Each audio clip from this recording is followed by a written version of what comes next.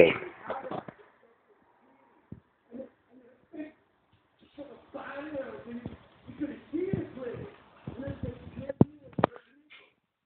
Some guy phoned in and it could only happen in Dublin. And he said, what do you think.